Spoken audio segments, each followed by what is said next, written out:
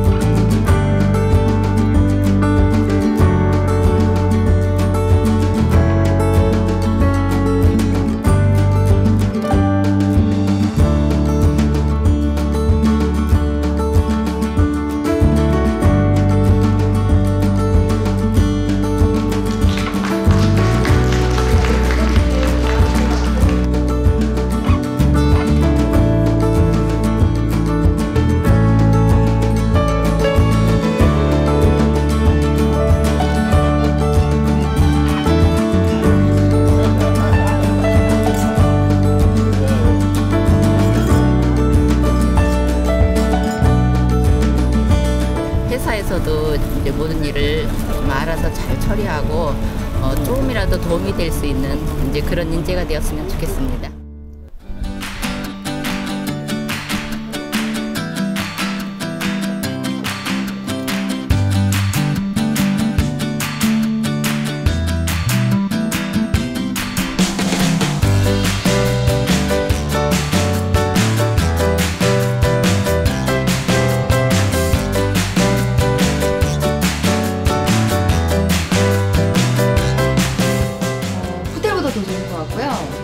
시설이라든지 이런 게 너무너무 잘 돼 있어서 아이를 편안하게 맡길 수 있어서 집보다 더 좋은 것 같아요. 최고입니다.